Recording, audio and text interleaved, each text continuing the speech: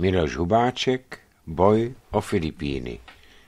22. část. Tajfun. Po třech dnech intenzivní bojové činnosti se zásoby paliva u řady torpédoborců 38. operačního svazu nebezpečně snížily, protože na dny 19. až 21. prosince byla naplánovaná další série náletů na japonské letištní a námořní základy na Filipinách, admirál Halsey nařídil, aby v noci z 16. na 17. prosince se svaz stáhl do východní části Filipínského moře, kde v pozici 14 stupňů 50 minut severní šířky a 129 stupňů 57 minut východní délky mimo dosah japonských stíhaček měli torpédoborce doplnit palivo.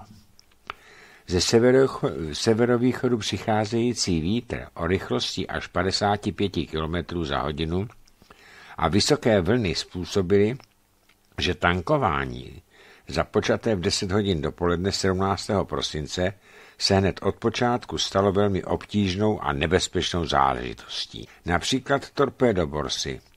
Medox trvalo tři hodiny, než přečerpal cisternové lodi Manatí pouhých 7093 galonů nafty. Pak se hadice přetrhly a jen tak tak, že nedošlo ke kolizi obou plavidel. Jenom upozorňuji, že americký galon je 3,785 se tisícin litru. Jak vyplývalo z hášení docházející noha Holziho vlajkovou loď New Jersey, obdobně tomu bylo i v jiných případech. Lehká letadlová loď San Jacinto sice stačila z nádrží tankeru načerpat 172 tisíce galonů, ale nakonec stejně musela tankování předčasně přerušit a podobně dopadlo i několik torpédoborců. V 11 hodin 7 minut se přiblížil k boku lodí New Jersey torpedoborec Spence, aby nabral palivo z jejich dostatečných zásob. Pokud nejsou příznivé povětrnostní podmínky, je manévrování dvou plavidel na paralelním kurzu při udržování stejné rychlosti vždy obtížnou operací. Teď však každou chvíli hrozilo, že torpédoborec do boku obrněnce narazí a po několikaném přetržení přetažených hadic posádky torpédoborce i bitevní lodi dalších pokusů zanechali a Spence odplul. Vítr a vlny nebránili jen tankování, znemožňovali i jiné operace. Torpédoborec Buchanan se marně snažil v závěsných sedačkách přemístit Polaně na eskortní letadlovou loď Altamaha, zachráněné piloty havarovaných nebo sestřelených letadel. Další eskortní letadlová loď Quaya Line byla před polednem přinucena zastavit veškeré letecké operace a její posádka se soustředila na přeskupování a zajišťování palubních letounů na letové i hangárové paluby. Letouny lehkých letadlových lodí, podílející se na stíhací ochranné, ochranné svazu, vůbec nemohly přistát a dva piloti, kterým došlo palivo, dostali pokyn vyskočit padákem. Torpédoborec je sice z moře vylovil, ale letadla byla samozřejmě ztracena. Krátce před 13. hodinou admirál Holzy nařídil dalších riskantních a málo úspěšných pokusů o tankování prozatím zanechat, přesunout se na severozápad do pozice 17 stupňů severní šířky a 128 stupňů východní délky a pokračovat následující den v 6 hodin ráno. Svoje rozhodnutí založil na doporučení hlavního aerologa třetího loďstva fregatního kapitána George Koska, který se domníval, že cyklonová porucha, v níž se 38. operační svaz ocitl, postupuje určitým směrem, kterému je možno se přesunem vyhnout. Povětrnostní mapa, sestavená na základě údajů, které měl Kosko k dispozici, naznačovala, že centrum bouře se nachází asi 400 až 500 mil jihovýchodně od 38. operačního svazu. Aerologická služba Tichomorského loďstva naznači, nenaznačila, že by se v operační oblasti 38. operačního svazu schylovalo k něčemu skutečně vážnému. Ani nemohla. Postup spojeneckých vojsk a současně i třetího lodstva k japonským ostrovům byl totiž tak rychlý, že se zatím nepodařilo vybudovat síť meteorologických stanic spolehlivě pokrývající předsunuté oblasti. Na tomto neuspokojivém stavu nic nezměnil fakt, že existující střediska aerologické služby v Tichomoří dělala vše, co bylo v jejich silách, aby operujícím vojskům, loďstvu a letectvu dodala alespoň základní informace o povětrnostní situaci. Souhrnou zprávou, založenou na hlášení jednotlivých pozemních stanic, vysílala čtyřikrát denně radiostanice Quajaline a dokonce osmkrát denně radiostanice Manus na admira, admiralitních ostrovech. Hlášení meteorologického charakteru přicházela i od průzkumných letounů operujících z letišť v Marianách, z atolu Ulity a z Palauských ostrovů.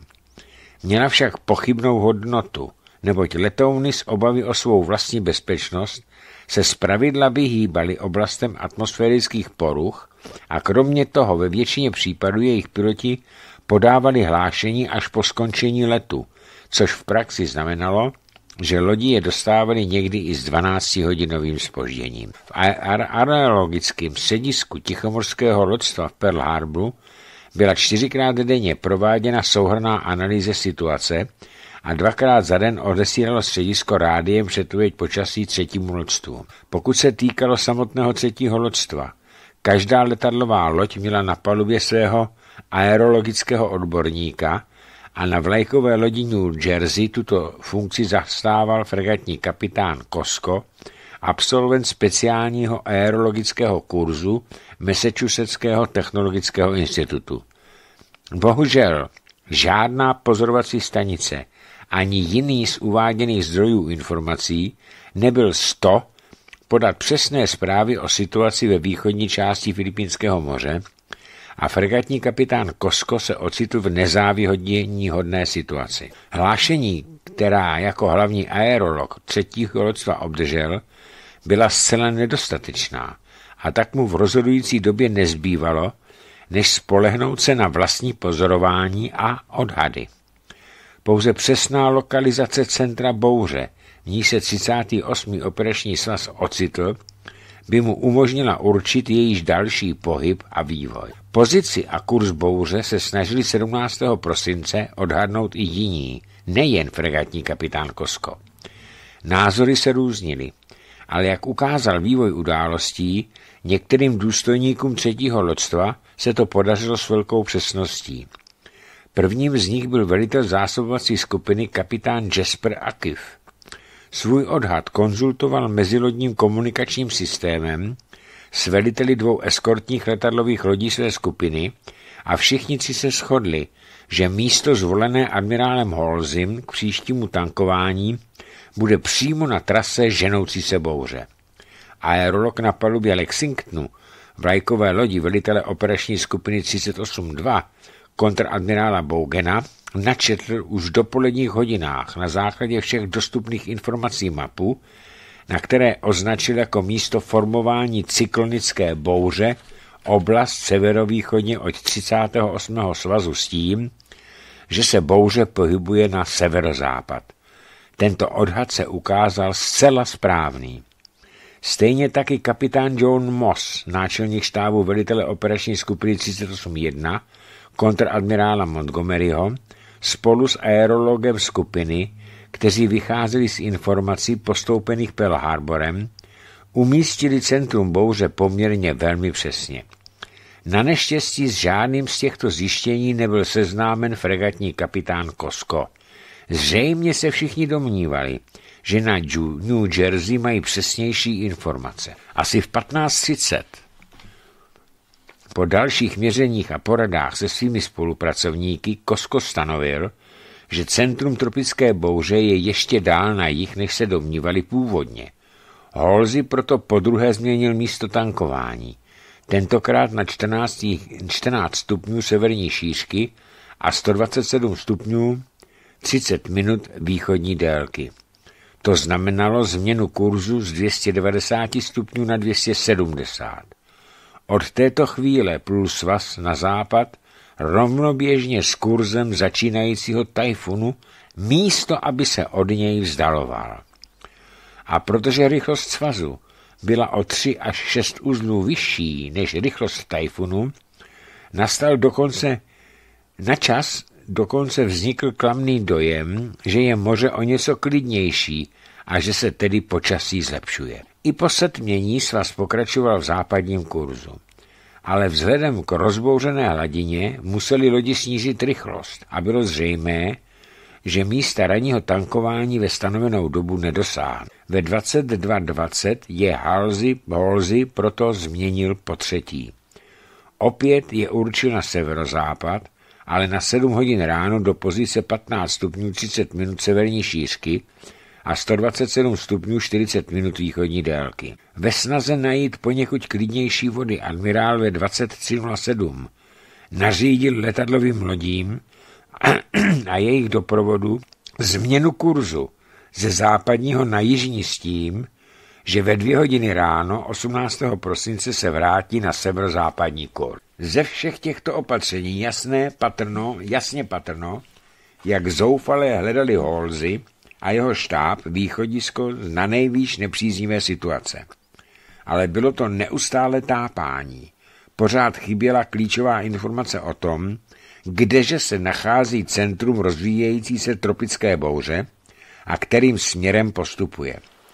Jen vinou této nejistoty se mohlo stát, že základní severozápadní kurz, kterého se 38. operační svaz po většinu času držel, jej vedl postupujícímu tajfunu přímo do cesty. Půl třetí ráno 18. prosince se Holzy, jeho náčelník štábu kontradmirál Korny a fregantní kapitán Kosko znovu sklonili nad podvětrnostními mapami.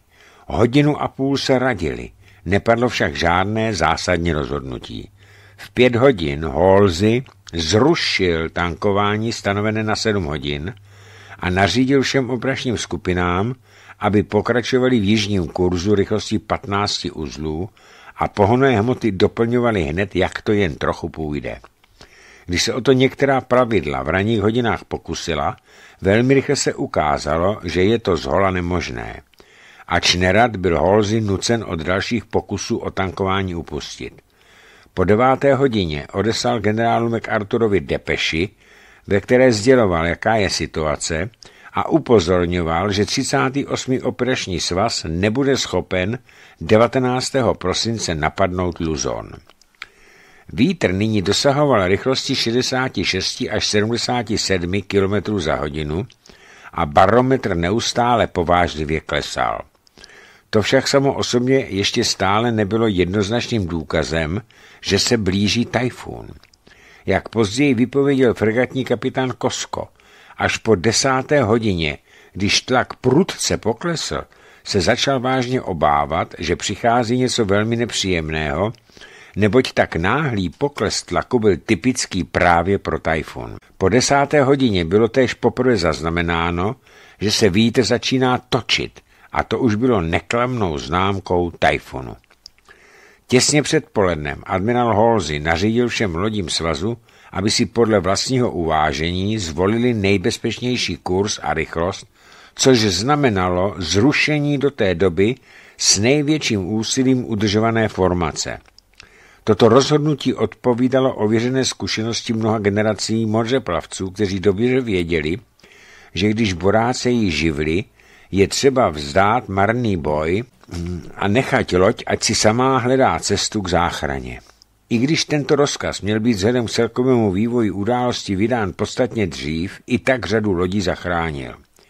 Nemůžete bojovat s tajfunem, prohlásil velitel torpedoborce Hickox, korvetní kapitán Wesson, a stejného názoru byl i velitel Kvajalajnu, kapitán Vorok a mnoho dalších velicích důstojníků.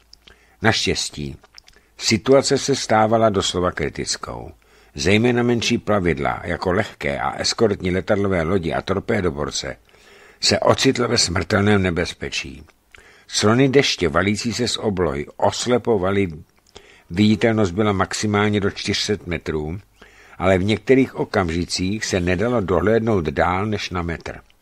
Jedině radar, pokud ovšem fungoval, zabraňoval kolizím. Větrná smršť vůbec nedovolovala zdržovat se na odkrytých stanovištích. Řadu hlídek nezbylo než stáhnout a pokud se námořník na letadlové lodi musel vydat na letovou palubu, plazil se po břiše. Těžké bitevní a letadlové lodi a tangery, zatížené desítkami tisíc tun nafty, byly náporu zuřících živlů jakž takž schopny čelit, ale ani na jejich palubách nebylo nikomu do smíchu. Vlajková loď New Jersey o výtlaku 46 tisíc tun se podle vyjádření velitele kapitána Holdena zmítala jako kánoe a jak dal pravil, stoly, židle a všechno neupevněné zařízení muselo být přivazováno. My sami jsme poletovali od jedné překážky, přepážky ke druhé a v obrovském rámusu nebylo slyšet vlastního slova. Těžké letadlové lodi nepřišly sice o žádné ze svých letadel, ale čemu byli nuceni vzdorovat, o tom dostatečně vypovídá fakt, že například přes letovou palubu Hancocku vlajkové lodi viceadmirála McCaina za normální situace se nacházejících 17 metrů nad hladinou se nyní převalovala voda. Jižní kurz, na který loďstvo přešlo v posledních hodinách, předtím, než jej dostihl hlavní nápor rozběsného živlu, je z největší pravděpodobností uchránil od daleko větší pohromy, než k jaké došlo. Centrum bouře minulo oblast, v níž se nacházelo nejpočetnější uskupení lodí, ve vzdálenosti asi 37 mil severně. Ale vzhledem k tomu, že se 38. operační svaz i Akifova zásobovací skupina rozptýlili na ploše kolem 2,5 tisíce čtverečních mil, řada plavidel se ocitla v těsné blízkosti oka tajfunu. Některé letadlové lodi je jasně zachytili na svých radarových obrazovkách. Fotografie pořízené v těchto okamžicích z obrazovky na VASPu byly zřejmě prvními na světě, které tento děsivý přírodní úkaz zaznamenali. Posádka cisternové lodí Meskoma při této příležitosti zažila něco, co žádný z námořníků nezapomněl do smrti. Loď se dostala přímo do oka tajfunu. Na okamžik bylo vidět jasně modré nebe a pak přišly nárazy obrovitých vln ze všech stran. Vířící vítr dosahoval ve svých porivech rychlostí více než 180 km za hodinu. Maskoma přežila úplným zázrakem. Vedle torpédoborců bylo nejhůř lehkým letadlovým lodím. Jak se nakláněli, propadali se do údolí mezi ženoucími se vlnami a v zápětí se zase ocitali na jejich hřebenech. Praskala lana, jimiž byly uvázány letouny, Stíhačky i bombardéry padaly z letových palub do moře, na dolních hangárových palubách na sebe narážely a přitom vypukla řada požárů. Na Kaupensu přepadlo přes palubu sedm letounů. Další stíhačka Hellcat, přestože upevněna třemi ocelovými lany, se při 45 stupňovém nákonu lodi uvolnila, narazila do nástavbové konstrukce a okamžitě vyšlehly plameny. Posádka je rychle uhasila, ale těžkostem nebyl zdaleka konec. Na hangárové palubě se dal do pohybu traktor užívaný k převážení pum a prorazil palivovou nádrž jedné ze zaparkovaných stíhaček. Masa vody zdemolovala ochranou bariéru z ocelového plechu, chránící levou stranu hangárové paluby a balila se po palubě. Porivy větru a vzpínající se vlny vytrhly z uložení jeden z předních 20 mm protiletadlových kanonů, stejně tak byla z předního stožáru stržena radarová anténa a zmizela v moři. Náraz obrovské vlny odnesl motorový člun. Na hangárové palubě se uvolnily uložené pumy a klouzaly tak, jak se paluba nakláněla. Z letové paluby kromě letounů padaly do moře džípy, traktory a pojízdné jeřáby. S tím vším se musela posádka potýkat za situace, kdy se loď potácela jako opilá a zaplavovaly ji vlny dosahující výšky až 20 metrů. Muži, všichni oblečeni v záchranných vestách, utrpěli nesčetná zranění, jak padali a naráželi na stěny nástaveb, přepážky a uvolněné předměty. I ty nejostřílenější přepadal strach z pekla, rozpoutaného kolem nich, a mnozí navíc trpěli mučivými záchvaty mořské nemoci. Ale ve své naprosté většině i v těch nejkritičtějších situacích plnili své povinnosti a rozkazy důstojníků. I na lehké letadlové lodi Monterey vypukl v 1911 požár, když se na hangarové palubě roztříštil jeden z uvolněných letounů. Za půl hodiny jej, jej již měla protipožární družstva pod kontrolou, ale načas bylo nutno opustit kotelny číslo 1 a 2, kam pronikl dusivý kouř. U kotlu zůstalo jen několik dobrovolníků, pracujících s dýchacími kyslíkovými přístroji. Monterey ztratila 18 letounů, které buď schořely na hangárové palubě, a nebo spadly z letové paluby. 16 dalších bylo těžce poškozeno. Stejně, jak byly zdemolo, zdem, stejně tak byly zdemolovány tři 20 mm kanóny. Pro Monterey, která byla přestavěným lehkým křížníkem, byly požáry obzvlášť nebezpečné, neboť její ventilační systém byl konstruován tak, že bral vzduch z prostoru hangárové paluby. Znamenalo to, že jakmile na této palubě vypukl požár, mohl se snadno ventilačním potrubím rozšířit po celé lodi. Velitel, kapitán Stuart Ingersoll, však v době, kdy byla situace nejkritičtější, učinil prozíravé rozhodnutí. Zastavil stroje, nechal loď unášet vlnami a bouří a všechny síly soustředil na hašení požáru a provizorní opravy. Teprve, když bylo největší nebezpečí odvráceno, pokračoval v plavbě. Na lehké letadlové lodi San Jacinto se kapitán Michael Kernoodle rozhodl k ostré změně kurzu, aby uchránil její bok, do kterého bušila jedna obrovská vlna za druhou. Protože ve zdivočelém moři mělo kormidlo jenom omezenou účinnost, současně přikázal pravým strojům zpětný chod a levým 20-uzlovou rychlostí před. Loď byla v polovině obtížného manévru, když se propadla mezi dvě vlny a naklonila o 42 stupňů. Na hangárové palubě se uvolnil jeden letoun a zdemoloval sedm dalších. Do pohybu se dal i uskladnění materiál, náhradní díly k motorům, prakticky vše, co nebylo naprosto bezpečně uloženo. Při každém výkyvu lodi tato spousta těžkých předmětů klouzala po palubě, teď už polité olejem, a narážela na boky a přepážky. Do toho syčila pára unikající z proražených potrubí a stříkala voda z poskoženého hasícího systému. Námořníci opět prokazovali divy statečnosti. Zavěšení na lanech se spouštěli zetové paluby na hangárovou, přitom, jak se loď kymácela, létali ve vzduchu a mnozí se vážně zranili. Nicméně nakonec dokázali vraky letounů a vše ostatní upevnit a zabránit šíření děsivého a nebezpečného zmatku v podpalubí. Velké škody utrpěla i lehká letadlová loď Langley, která se v jednom okamžiku naklonila až o 70 stupňů, ale úplným zázrakem se opět napřímila. Eskortní letadlové lodi skupiny kapitána Ekifa též zažívají těžké chvíle, ale kromě ztráty značného počtu letounů vážněji postiženy nebyly. Na letové palubě Cape Esperance vypukly požáry krátce po poledni, ale brzy se je podařilo uhasit.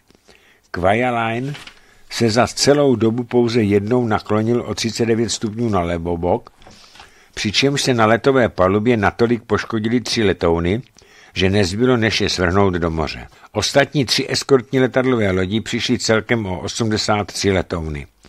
Tato plavidla, vybavená stroji o relativně nízkém výkonu, od počátku nebyla 100, stavět se bouři rozhodněji na odpor a po většinu doby plula pomalou rychlostí natočená bokem proti větru, protože jeho porivům o obrovské síle nemohla vystavit ani přídě, ani zádě. Tento kurz je však vedl přímo doprostřed jedné z operačních skupin a tak občas museli velitelé blesku rychle nařizovat plný zpětný chod, aby se vyhnuli srážce s těžkou letadlovou lodí, křižníkem nebo torpédovorcem.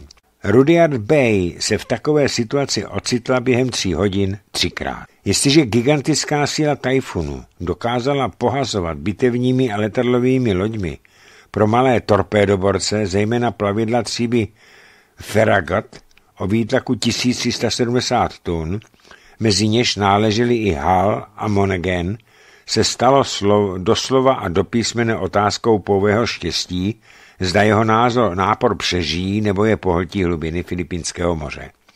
Tři z nich toto štěstí opustilo. Hal byl spolu se dvěma eskortními torpédoborci pověřen ochranou čtyř cisternových lodí.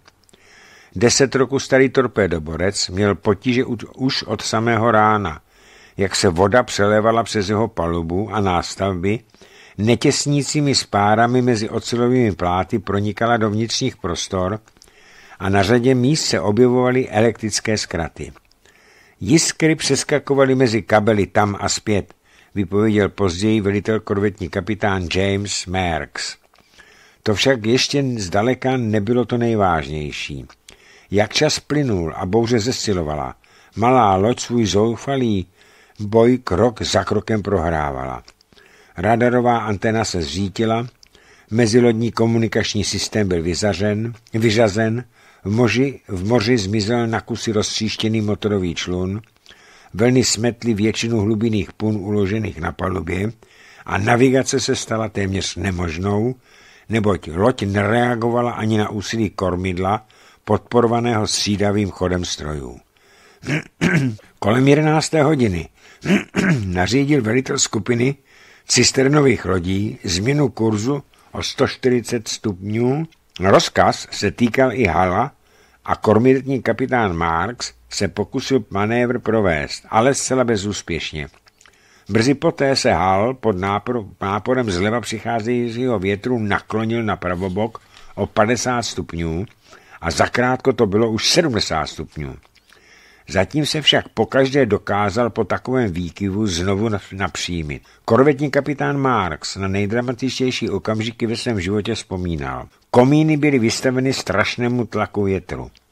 Až do doby, než se loď převrátila, jsem měl velkou obavu, že oba komíny mohou být od lodi odtrženy. Několik kovových krytů na pohotovostních muničních bednách vítr strhl.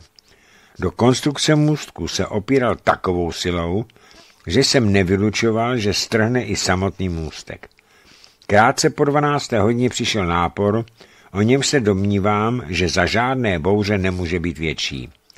Rychlost větru se neuvěřitelně zvýšila. Odhadoval se mi až na 200 kilometrů.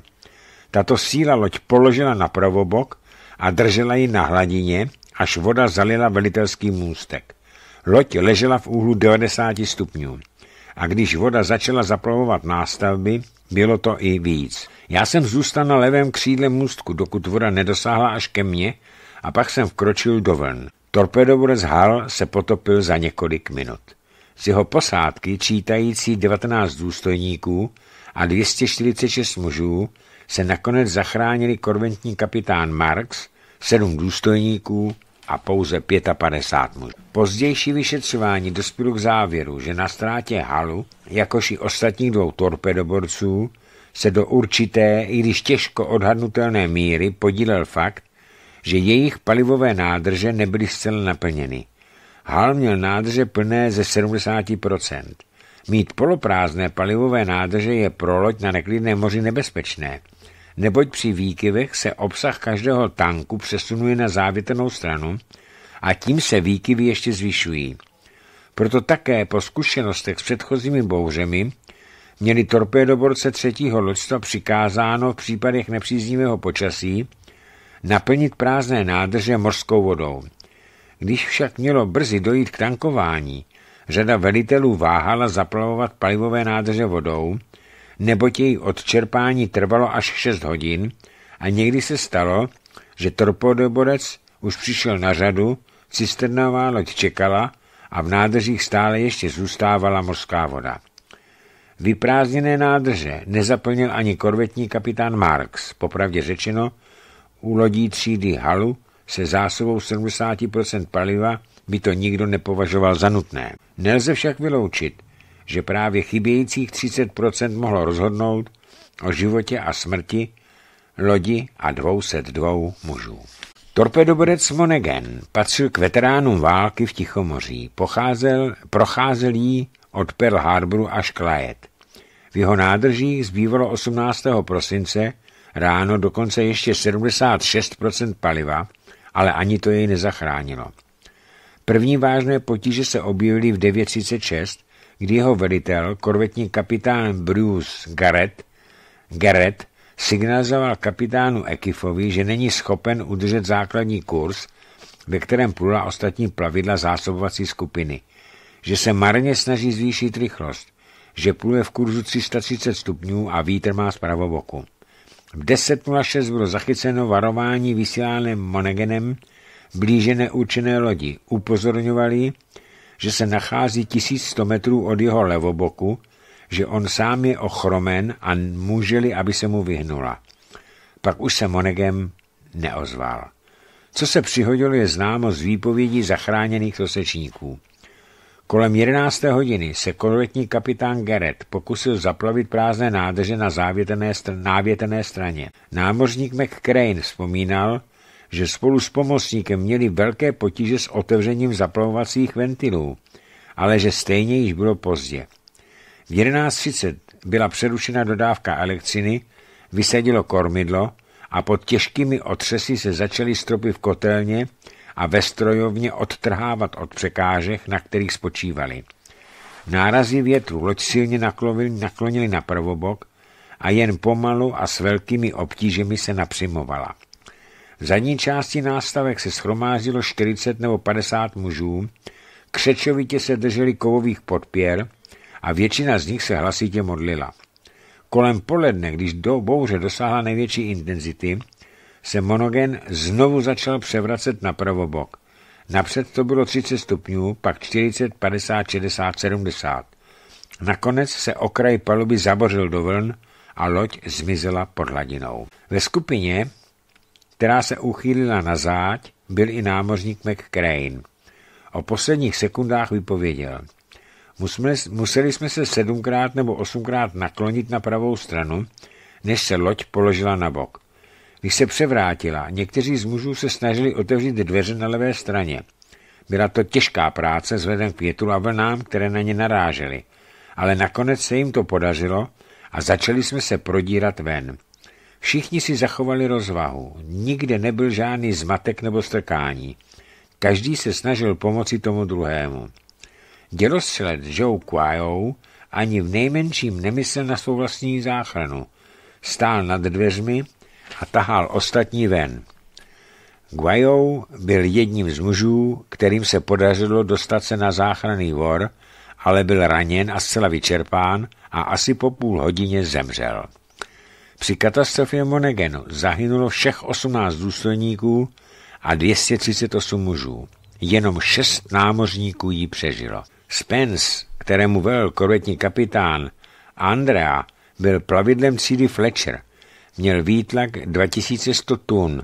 Do služby byl uveden před dvěma roky a náležel k operační skupině 38.3 kontraadmirála Shermana. Už 17. prosince zbývalo v jeho nádržích pouhých 15% paliva a ráno 18. prosince po neúspěšném pokusu doplnit je ze zásob bitevní lodí New Jersey, jej Sherman kolem 8 hodiny odeslal v zásobovací skupině kapitána Ekifa, aby při první příležitosti natankoval.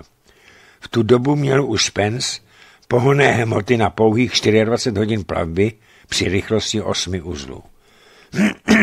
Ve stále sílící bouři tankování samozřejmě nepřipadalo v úvahu a torpedoborec s téměř prázdnými nádržemi poletoval jako korková zátka na hřebenech spínajících se vln, aby se v následujících okamžicích propadl do hlubokých kanionovitých údolí otvírajících se mezi nimi. Korvetní kapitán Andrea začal zaplavovat prázdné nádrže příliš pozdě. Proudy vody, které zalévaly palubu a nástavby, se hrnuly, ventilátory do podpalubí způsobily zkraty, zhasla světla, přestala pracovat čerpadla a zablokovalo se kormidlo. Loď se začala nebezpečně naklánět na levobok, několikrát se dokázal napřímit, ale pak kolem 11. hodiny ji štěstí opustili. Náklon dosáhl 72 stupňů a tentokrát už běsnící moře svůj oběd nepustilo. Jediný z důstojníků, který se zachránil, poručík Kraukenas, ve svých vzpomínkách popsal, jak v tom okamžiku seděl na lůžku v kabině korvetního kapitána Andreji a hovořil s lodním lékařem. Strašlivé zhoupnutí lodi jej vrhlo zády proti přepážce a na hlavu se mu sesypaly padající předměty, včetně kapitánových knih. Po rukou a po kolenou se vyplezl z kabiny a stejným způsobem pokračoval dál po stěně chodby, která v tu dobu byla ve vodorovné poloze. Tak se dostal na palubu, odkud ho spláchala vlna ve stejném okamžiku, kdy moře torpédoborec pohltilo. Kromě Krauchanase se zachránilo 23 námořníků. Hal, Monaghan a Spence svůj boj se zuřícím tajfunem prohráli a zaplatili nejvyšší cenu. Ale i několik dalších torpedoborců, které se ocitly v blízkosti centra smrtícího víru, mělo na mále. Jedním z nich byl Devej s velitelem korvetním kapitánem Calhounem. Na palubě Deveje, vlajkové lodi první eskady torpedoborců, náležících do provodu zásobovací skupiny cisternových a eskortních letadlových lodí, se nacházel velitel eskadry kapitán Mercer, bývalý zástupce náčelníka štábu generá admirála Nimice. Mercer byl zkušený torpedoborcový velitel a jak později prohlásil korvetní kapitán Calhoun, Devej vděčil za to, že přežil tajfún z 18. prosince 1944 Mercerovu uklidňujícímu vlivu, užitečným radám a uvážlivému úsudku. Krátce před desátou hodinou dopolední hlásila strojovna na velitelský můstek poruchy mazacího systému, neboť jak se loď neustále zmítala ze stany na stanu, začalo vynechávat olejové čerpadlo. Hned na to se Devej vzhledem k viditelnosti snížené hustým deštěm na pouhých pár set metrů jen tak tak vyhnul srážce s lehkou letadlovou lodí Monterey. Při úhybném manévru změnil kurz a ocitl se v pasti. Odkrytí levoboku plnému náporu větru a valících se vln způsobilo naklonění na pravobok. Kormidlo přestalo plnit svou funkci a loď ztratila jakoukoliv možnost manévrovat.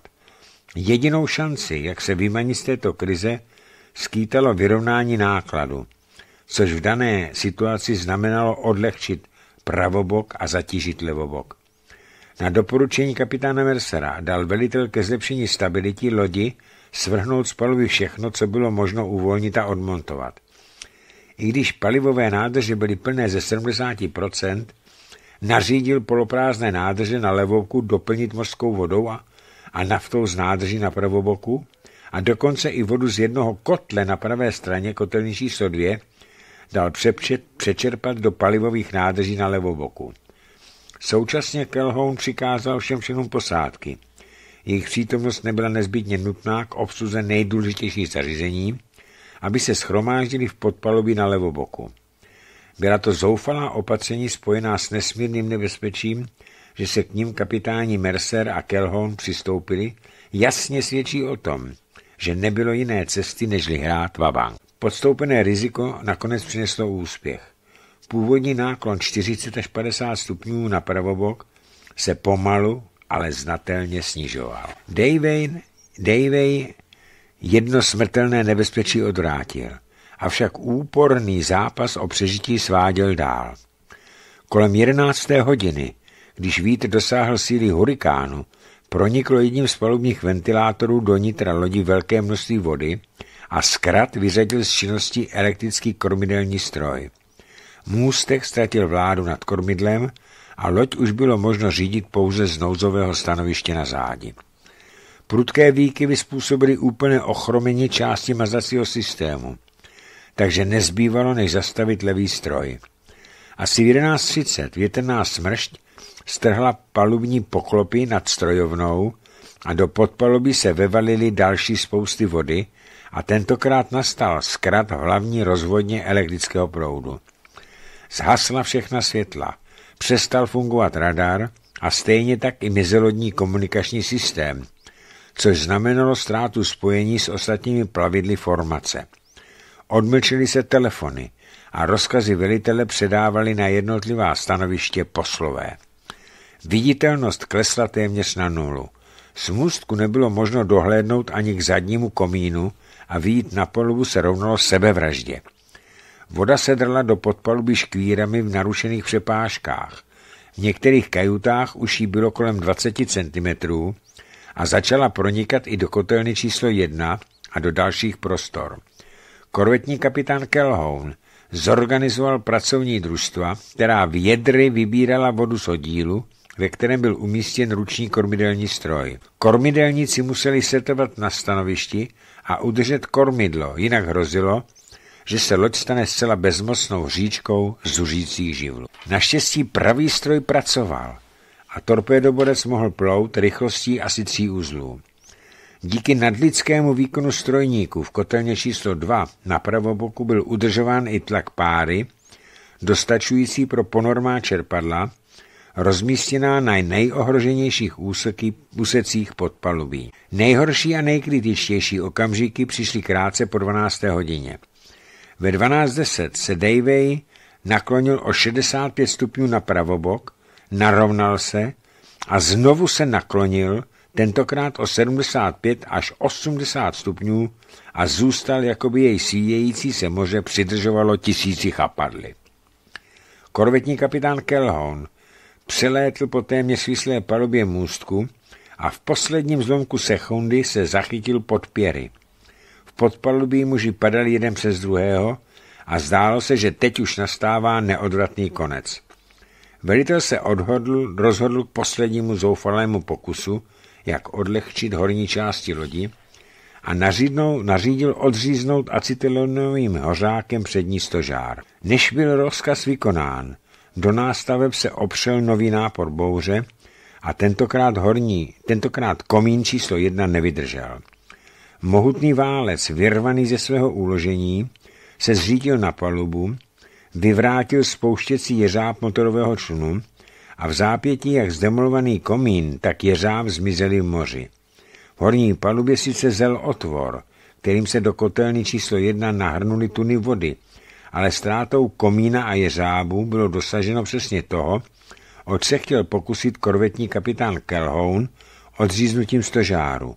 Hmotnost horní části torpédoborce se podstatně snížila, čím se vylepšila jeho celková stabilita a Davey se znovu začal narovnávat. Když po válce vojenský redaktor listu The New York Times Henson, Henson Baldwin popisoval Karvárii, již 18. prosince 1944 torpedovec prošel, prohlásil, že byl pravděpodobně první lodí v historii mořeplavby, která přežila takovéto naklonění. Před 13. hodinou se centrum bouře, které muselo projít v těsné blízkosti Deveje, začalo vzdalovat. Protože strojníci dokázali zajistit tak páry, dostačující prochod čerpadel, dařilo se vodu pronikající do podpalubí udržet pod kontrolou. Loď byla zachráněna.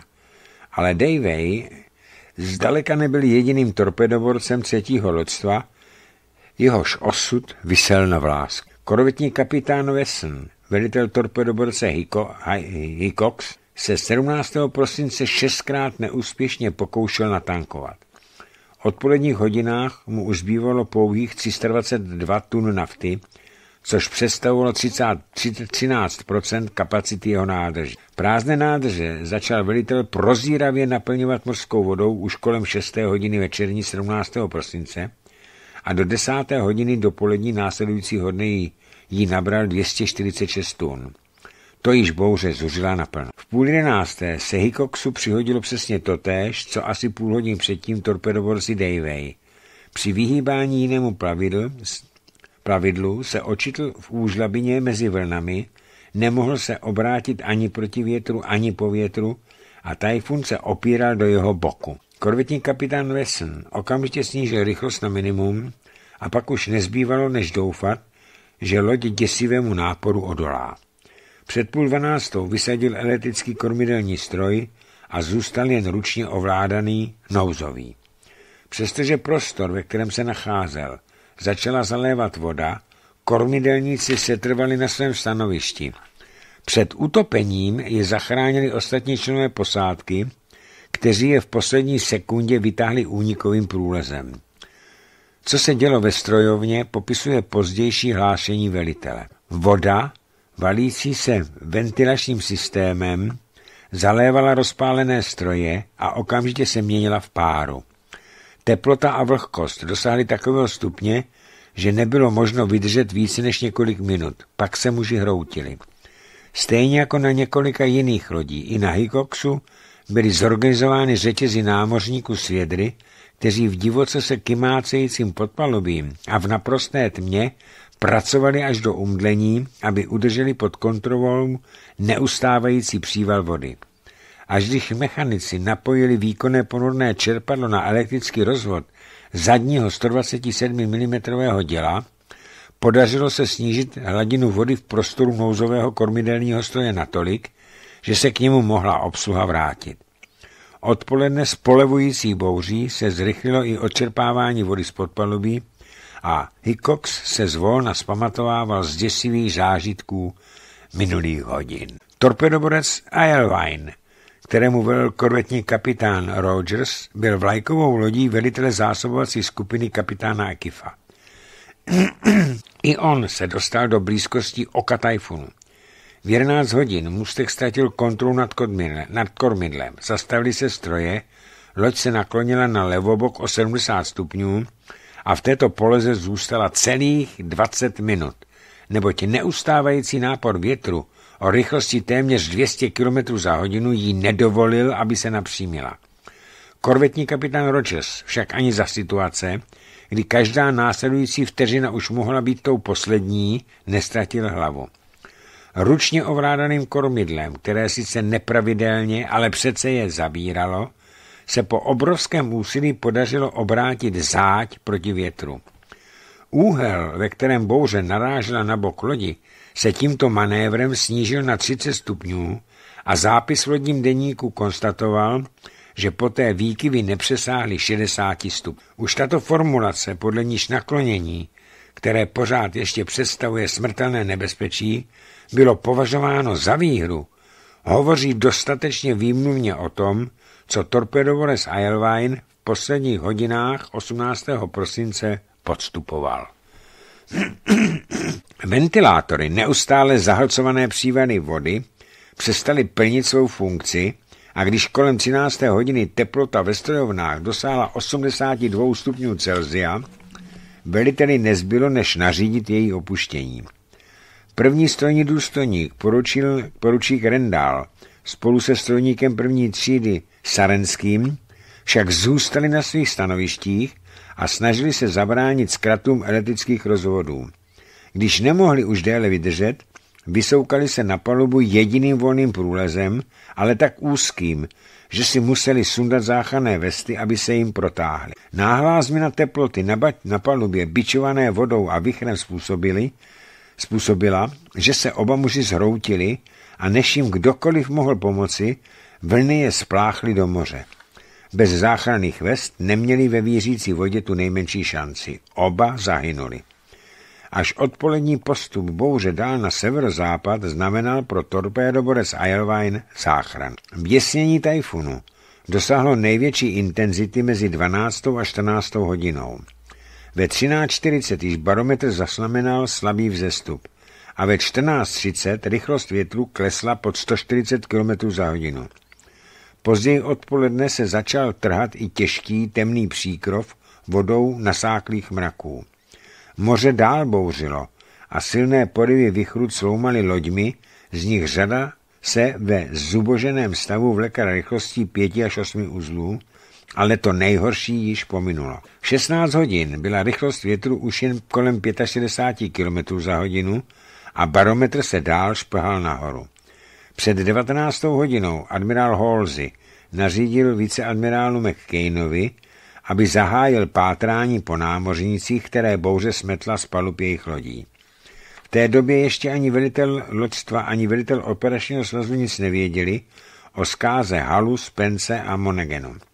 Že se torpédoborec, torpédoborce neozývalo, nebylo důkazem jejich zániku, neboť vzhledem k poruchám radiostranic ztratilo několik lodí na řadu hodin spojení s vlajkovými plavidly. Patřil mezi něj i eskortní torpedoborec Taberer, který se ohlásil až ve 2 hodiny 25 ráno 19. prosince. Teprve z jeho hlášení přivážel několik desítek trosečníků, se Halsey a McCain dozvěděli o potopení halu a brzy na to i osudu dalších dvou torpedoborců. Holzi ve svých pamětech napsal, že bylo provedeno nejdůkladnější pátrání v námorní historii. Torpedoborce, eskortní letadlové lodi a po rozednění desítky letounů pročesávali rozsáhlou oblast a pátrání pokračovalo až do poledne 22. prosince. Velký výkon podal eskortní torpedoborec Taberer. Přestože v bouři ztratil přední stožár, nefungovala mu radiostanice a radiolokátor, již před půlnocí z 18. na 19. prosince zachránil prvních deset trosečníků z halu. Organizace záchranných prací v noci a při stále ještě rozbouřené hladině byla nesmírně obtížná a námořníci z Tabereru mnohokrát nasazovali život, aby dostali muže zmítající se ve vlnách na palubu. Velitel, korvetní kapitán Henry Plage, však zvolil metodu, která se ukázala jako velmi účinná. Po zahlednutí sečníka se k němu torpedoborec přiblížil z návětrné strany na necelých 50 metrů, zastavil stroje a nechal se unášet vlnami. Současně byly na závětrné straně hozeni do moře sítě, záchranné pasy, jištěné lany a větší množství lan z manelského konopí z uzly. Často se museli nejlepší plavby plavci z posádky torpedoborce vrhnout do moře v záchranných vestách a přivázání na lanech, aby zcela vyčerpanému nešťastníkovi pomohli. 19. prosince Taberer vyložil dalších 28 mužů a když přišel rozkaz admirála Holzeho, aby pátrání pokračovalo, celá posádka, přestože za sebou měla utkání s tajfunem a 640 hodin bez minuty spánku, jej uvítala s nadšením. Během noci Taberer zachránil další tři muže. V 11 hodin dopoledne 20. prosince našel záchranný vor trosešníky ze Spence a krátce na to ještě čtyři osamělé plavce. Jeden z nich už neměl síl, aby se zachytil vrženého záchranného pasu. Než mu mohla být poskytnuta pomoc jiným způsobem, objevil se obrovský žralok. Námořníci Tabereru však reagovali bleskurychle a dravce, který již byl necelé dva metry od trosešníka, zahnalo několik přesně mířených výstřelů z pušek. Pak skočil do moře výkonný důstojník, poručík Serdem, omotal kolem bezvládného muže lano a nakonec jej šťastně vytáhli na palubu. Celkem zachránil Taberer 55 trosečníků. Mnozí z nich, mezi nimi i velitel halu, korvetní kapitán Marx, prohlásili, že nikdy neviděli dokonalejší zvládnutí námořnického řemesla, než předvedl korvetní kapitán Plage, když při záchranných akcích řídil svou loď s nesmírnou citlivostí a přehledem navzdory vysokým vlnám a silnému větru. Ve svých pamětech admirál Holzy vzpomíná, jak byl úplně vyveden z míry, když se dozvěděl, že korvetní kapitán Plage, o kterém se podle jeho chování za tajfunu a při záchranných pracech domníval, že je zkušeným veteránem válečného námořnictva, prošel pouze výcvikem pro záložní důstojníky a byla to jeho druhá bojová plavda ve funkci velitele lodi. 20. prosince našel eskortní torpedovorec Svírer, devět mužů ze Spence a 12 mužů z Halu objevil dopoledne 21. prosince torpedovorec Brown 66 mil severozápadně od místa, kde byla první skupina jejich druhů zachráněna. V noci z 18. na 19. prosince Tabererem. Ten týžden Brown ještě vzal na palubu jediných šest mužů, kteří před, přežili potopení Monegemu. Objevil je pátrající letoun.